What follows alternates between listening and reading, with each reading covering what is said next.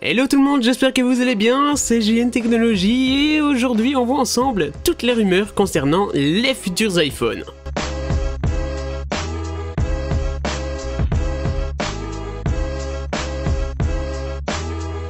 Et oui, j'ai bien dit les futurs iPhones puisqu'il y en aura trois, logiquement, l'iPhone 7 S, 7S Plus et bien sûr l'iPhone 8. Concernant l'iPhone 7S et 7S Plus, pas de grande nouveauté, mis à part une refonte du design, toujours les mêmes tailles, c'est-à-dire 4,7 pouces et 5,5 pouces, mais une nouveauté plus qu'attendue, la recharge sans fil. Mais c'est du troisième modèle que viendra toutes les nouveautés les plus importantes, l'iPhone 8.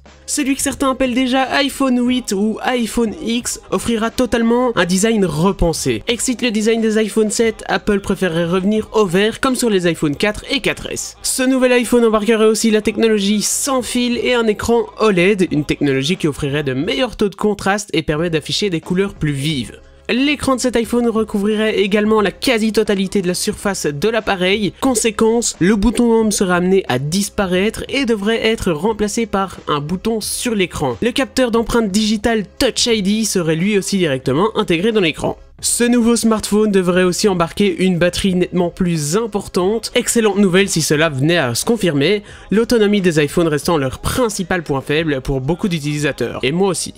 Mais l'addition devait être salée pour ce nouvel iPhone. Elle pourrait également dépasser les 1000 dollars aux États-Unis, donc environ 940 euros. Avec les taxes, on en revient à 1100, 1150 euros. Un prix qui, s'il est important, n'a rien de surprenant, euh, puisque c'est du Apple. Annoncé comme particulièrement haut de gamme, l'iPhone 8 serait logiquement plus cher que les modèles actuels qui grimpent déjà jusqu'à 969 dollars, donc environ 1000, euh, 1100 euros, euh, pour un iPhone 7 Plus embarquant 256 Go de stockage. Si Apple respecte bien évidemment son calendrier habituel, ces nouveaux iPhones devraient être présentés lors d'une keynote euh, début du mois de septembre. Et eh bien voilà les amis, j'espère que cette vidéo vous a plu, en tout cas moi je suis éclaté à la faire, j'ai vraiment hâte que cet iPhone 8 sorte afin de voir si les rumeurs étaient bien vraies. Pour ma part, je vous laisse débattre dans les commentaires et comme d'habitude n'hésitez pas à vous abonner. Allez, à mercredi les amis.